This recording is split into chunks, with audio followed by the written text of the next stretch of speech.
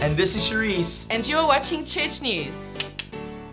September is Kids Church Open Month.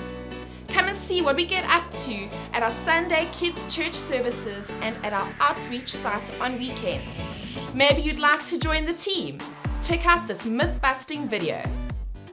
Hi, church. My name's Dino, and this is week three of busting myths about kids' church. And so this week we're busting the myth that you have to be overly crazy, overly loud, overly dressed to be part of kids' church team. And so what we're going to do is we're going to go and we're going to find out if that is actual true or if it's the myth. And so um, we're going to go inside now and just go take a look at what's happening.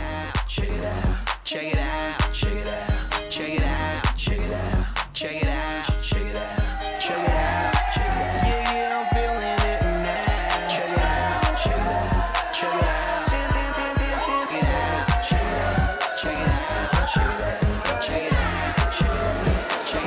Guys, I gotta tell you, that was such an awesome experience. And the truth is, you don't have to be overly crazy, overly loud, and overly extroverted to be part of Kids Church team. The truth is, I was totally overdressed. It's just a bunch of normal people who love God, who want to see the next generation reach their fulfillment and their destiny. So come on down this September, open September, to find out what's happening in Kids Church. And who knows, you can be the next great volunteer of our Kids Church.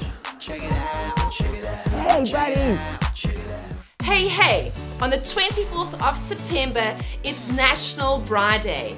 You'll be sure to enjoy that Wednesday with your family and friends and hopefully in some sunshine.